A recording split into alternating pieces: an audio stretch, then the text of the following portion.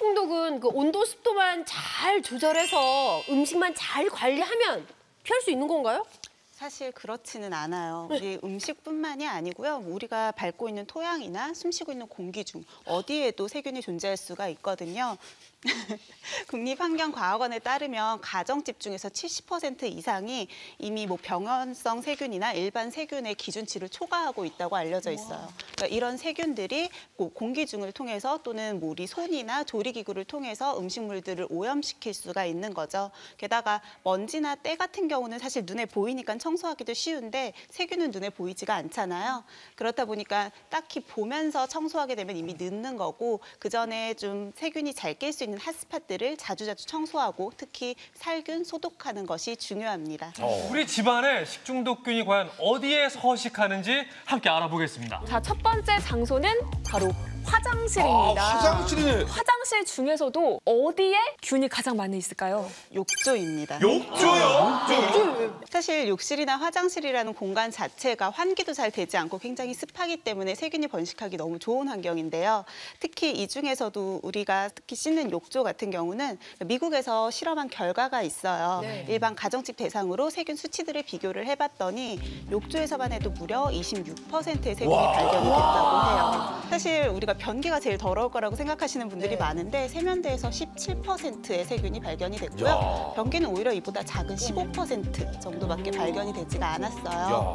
욕조에는 수- 이렇게 살고 있는 세균들이 보통은 대장균이나 황색 포도상구균이 많이 주로 살고 있는데 황색 포도상구균은 아까 잠깐 최 박사님께서 얘기해 주신 것처럼 세균 자체는 뭐 80도씨 이상에서 끓이면은 어느 정도는 사멸이 될 수 있는데 이 균이 내뿜는 균주는 100도씨 이상에서 30 분 이상 가열을 한다고 해도 독소가 쉽게 파괴가 되지 않습니다.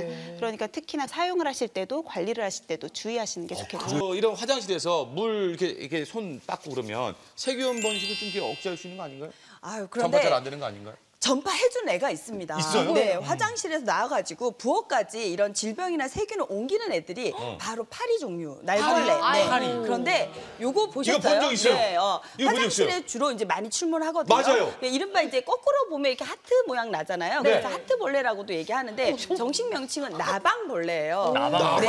그런데 이 파리는 기본적으로 먹은 음식물을 다시 토해내요. 한 반쯤 토해내거든요. 근데 나방파리도 파리의 일종인데 얘가 또 하수구에 살잖아요. 예. 오물을 먹어요. 그 섭취한 오물을 한 반쯤 토해가지고 막 오염을 시키는 거예요. 그래서 쟤는 진짜 꼭 없애줘야 되거든요. 근데 이제 번식력이 너무 좋아요. 어. 수명은 한 5일 내지 6일인데 뭐 알을 일단 한 수백 개씩 놓으니까 금세 번식할 수 있거든요. 그런데 뭐 알이나 유충이 모두 단백질 덩어리이기 때문에 열로 죽일 수가 있습니다. 그래서 특히 이제 하수구에서 서식하니까 뜨거운 물을 확 부어주면 되는데 아주 뜨거운 상태로 부어줘서 팍 익혀가지고 뜨거운 물 온수 나오는 거를 그냥 이렇게 아, 그 부으면 정도 되나요? 물그 정도는 안 돼요. 되고. 네, 그것도 소금을 넣어서 끓는 점을 높여서 정말 팔팔 끓는 상태에서 아. 그 화상에 유의하시면서 어, 네. 아, 화장실이 이렇게 위험하네요. 네. 자, 다음 장소는 다용도실입니다. 다용도실. 다용도실. 정답은 세탁기예요. 아, 세탁기요? 네, 많이 하는 착각 중에 하나가 세탁기, 세탁조 같은 경우는 세제를 넣고 널, 늘 돌리게 되니까 깨끗하지 않을까 생각을 하시는데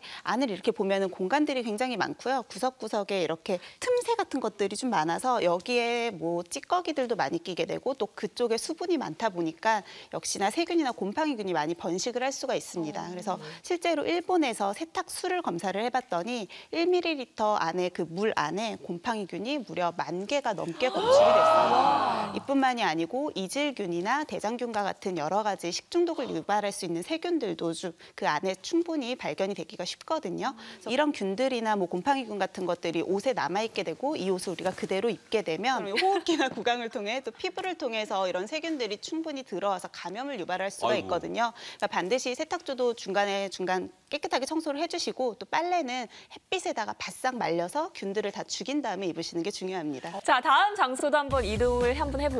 네. 바로 거실입니다. 아, 거실.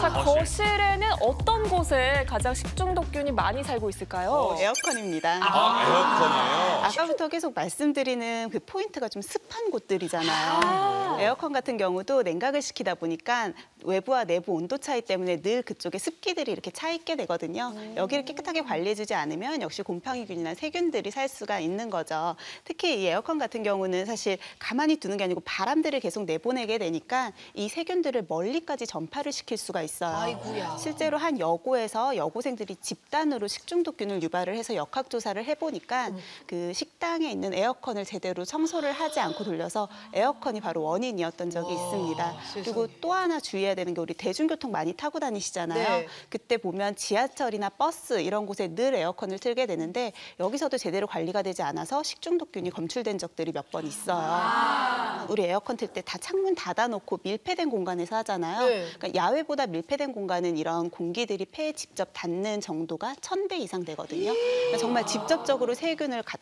다 우리가 흡입을 할 수 있다라고 볼 수가 있는 거죠. 그래서 반드시 청소를 해주시는 게 좋고요. 필터나 냉각핀 청소는 물론이고 에어컨 끄실 때 한 5분 정도 송풍 기능 틀어서 충분히 습기를 말린 다음에 끄시는 게 좋습니다. 세상에.